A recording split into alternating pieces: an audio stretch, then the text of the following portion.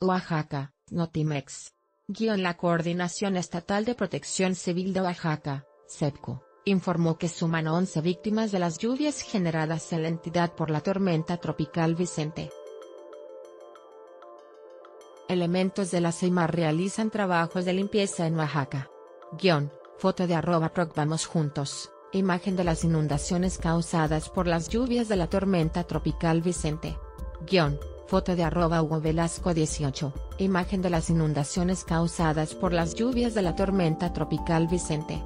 Guión, foto de arroba López Toriga, inundaciones en Oaxaca causadas por las lluvias.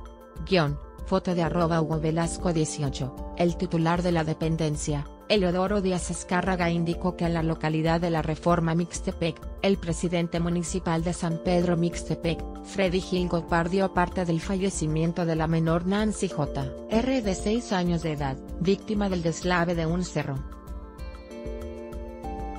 Un refugio temporal fue habilitado en la escuela primaria Benito Juárez, de esta zona, para recibir a 50 personas que viven en zonas de ladera o se encuentran al pie del cerro. Tras la búsqueda de personas desaparecidas en la comunidad de San Francisco Jayacaxtepec, perteneciente al municipio de Totontepec Villa de Morelos se rescató con vida a Patricia R.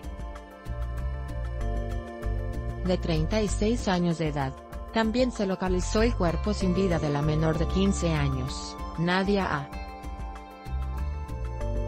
R., y unas horas más tarde localizaron el cuerpo sin vida del menor Salvador R. R. quien había sido reportado por el agente municipal, Gervasio Reyes Arnulfo. Se ha dispuesto de un operativo especial en esta comunidad para dar atención a la población que lo necesita. De igual manera se llevan a cabo acciones de prevención en comunidades donde se presentan problemas de deslizamiento de laderas.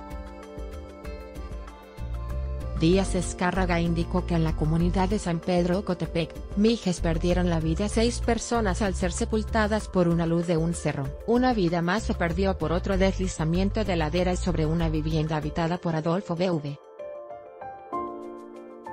de 40 años de edad en la comunidad de Asunción La Chixila, perteneciente a Santiago Camotlán, en tanto José Milésimo, de 56 años perdió la vida al ser arrastrado por un río en Tututepec.